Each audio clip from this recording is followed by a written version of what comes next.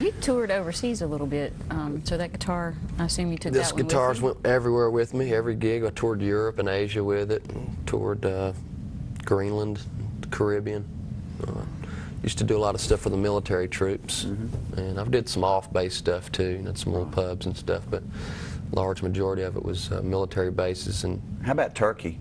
You didn't play any clubs in Turkey, did you? yeah, You did? yeah, I loved it. That'd be interesting. I was treated. I mean, we were treated. Uh, had a had a uh, four fi- uh, five piece band with me over there, and we were treated great, man. We, they loved us. Yeah. Uh, we loved them. It was the night. Everybody was nice. The women were beautiful. And the gold was cheap. you It's a great trip. Uh, and um, yeah, I loved it over there. I mean, I'm sure I probably wouldn't want to live there. I've, we did get a chance to see. I had a. Uh, I've been meaning to write a song about this, but we saw an episode. We were in this jewelry store. Gold's really cheap there. It's like a $500 gold bracelet here would be like 80 bucks over there. Wow. It's really cheap. It's high grade gold too. And um, we were in this jewelry store and we came out. We had our gifts and stuff. We were, had bought for our family and whatever. And we saw this. We saw this guy inside this jewelry store. We thought he might be shoplifting because he kind of looked kind of you know sketchy, you know. But we didn't pay. It wasn't any of our business. So sure enough, he came out of the store, and the store owner came out and he's like, "Hey, you know, whatever he was saying to him." And the guy was denying stealing anything. We could, you know, figure out what was going on. And anyway, so he calls the police and asked him to empty his pockets, and he wouldn't. So anyway, they patted him down and found all this jewelry and stuff. And the guy started resisting arrest. These cops, and this is, the, I think this is the way we should be over here. But we sit and watched it from across the street. This guy had an M16 around his thing. The cop did. You know, he was driving a little Datsun B210 or something. You know, the da da da da da. You know, and he takes his he takes his gun off and puts his gun on the hood on the top of the car. And he goes over here and grabs this guy by the ear, and le- and puts him in that police car by the ear. Wow. Right. And puts his gun back on, he gets back in the car and drives away with him. The old I'm like- spot trick. Oh, man. I'm like, that's how it's done. Wow. Yeah, exactly. Yeah. But that was kind of cool. I liked I liked Europe. I loved it. I, I, I wouldn't mind going back over there. How long ago was that? Uh, that was uh, 97, 98. I did about two months over there. Well, when did you share the stage with Jimmy Buffett? And Oh, that was in '95. That's kind of got a strange story. Uh, uh, I used to do a lot of shows at Blockbuster, some openings and some side stage stuff. I did probably 50 shows out there over about a four or five year period, and uh, got to know the staff real well and got to know everybody, the production manager and everybody. I had already knew the production manager, as a matter of fact was a guy named Calvin Hunter, and uh, he called me one day and said Buffett was in town, and would I come out and, and participate in this contest? And I said, okay, whatever. He said, you'll get two free tickets to the show. I said, great. I had never seen Buffett before, and so you got to get you got to get on the stage prior to the show and and play some guitar, and the crowd was. And it rained that day, and there was hardly anybody there. But I knew everybody, the staff and everybody. and We went by crowd response, so I won this contest, and. Uh, who you know? so I got to play Cheeseburger in Paradise with Jimmy Buffett. All right. But it looks good on the bio, though, don't oh, it? yeah, it Yeah. does. you know, Jimmy Buffett doesn't say how I got up Hey, there. you with- played with Jimmy Buffett. I That's- played with Jimmy Buffett on in all front of that. about twenty-five thousand, so it was fun. It was fun. He was a nice guy. You know, I enjoyed that. He sent me a sent me a uh, VHS tape of the whole thing, and uh, he mailed it to me. And I thought, yeah, you're gonna mail that to me, and he mailed it to me. Did. Wow. Pretty cool, you know, full production with the backup singers. And, That is good. yeah, it was pretty neat. And there you are. Mm, yeah. Who else have you been on stage with?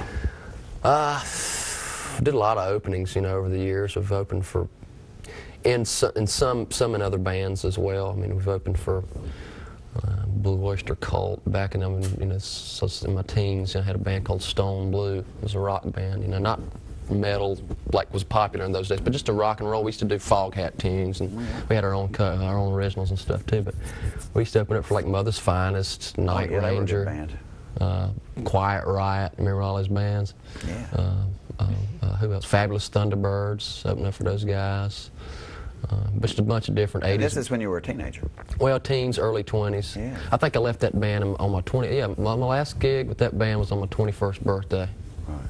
You know, and uh, we were together. We were together for about five years, and we used to do a lot of openings and stuff. And and then here recently, over the past few years, I've did shows with Cracker, um, uh, G Love, and Special Sauce. You know, uh, a lot of them I didn't feel like I mixed quite well with, but you know, I guess they felt like I was, uh, you know, versatile enough to cover it. So you know, maybe they couldn't get anybody else covered. But like the Cracker gig, I really didn't fit in there. I got some bad hecklers in the audience, you know.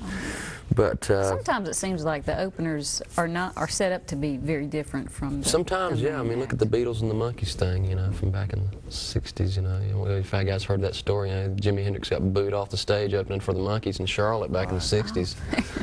Yeah, I heard that. Yeah, so go figure. Or look at the Monkees now and look at Hendrix. You know, he's an icon, whatever. Well, let's hear another song. Okay. This one kind of goes with. Well, is this is old guitar? Is it about Oh, I remember this. this one. guitar? It's about the mu- Actually- musician's plight, isn't it? Yeah, it's a, it's a lament to the working musician. Yep. Uh, and I, I, I think I wrote it on the old Gibson guitar, even though I don't play it a whole lot. But it can be about this one this time, this guitar here. It's all It's, fiction. it's called Old anyhow. Guitar, yeah.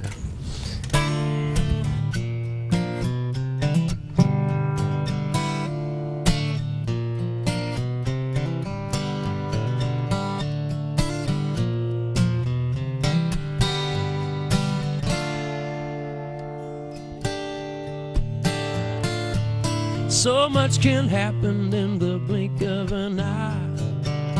Green turned to red, then your life passed you by. Spending all your time with your hand in the jar. Sitting in a corner with that old guitar. A young man is pretty, but he ain't got a clue. Time turns, oh Lord, then what do you do? Find yourself sleeping in living with that old guitar, yeah. Sometimes I wonder, is this all there is, or will I ever make it in the music biz? Cause there ain't no benefit, no guarantee when there's a hundred other pickers playing just like me, yeah. playing just like me every night and day somewhere out on the street.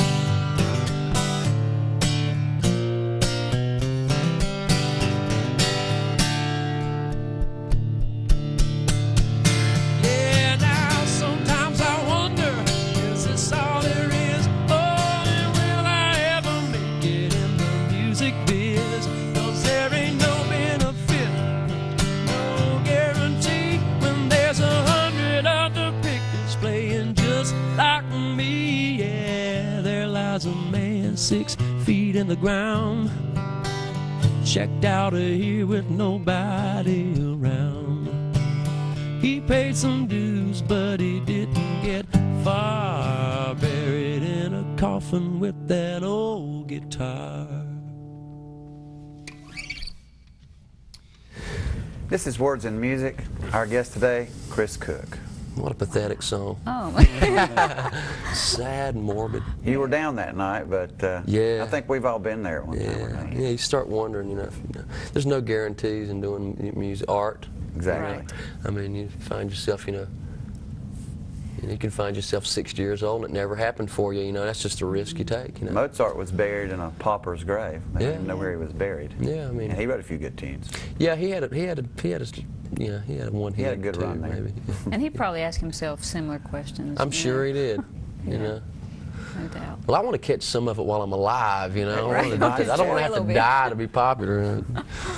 But uh, Well, Chris, we've really enjoyed your I've music. appreciated. I've show. enjoyed having you. Thank um, you. I've enjoyed having you guys on my show. We haven't really uh, sprung this on you yet, but we usually try to close the show with what we call a classic cover, Okay. Words and Music All classic. right. Maybe we can talk a little bit and We'll be back. come back and uh, Great. play Sounds- play sounds that like a Words good and. Music classic. So Before stay with we us. do that, Well, let's get your website.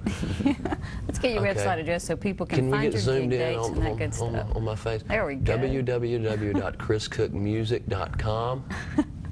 No E on that cook. Some other Chris Cook got your dot .com, didn't He he? got my dot .com. I had a Phil Ruff get mine. he got too. my chriscook.com, but I, got, I ended up with the Chris, Chris Cook Music, which yeah, dot That com. that works. Works Yeah. well. Yeah. All right. Mm-hmm. Well, we'll be right back with some more Words and Music. Stay with us.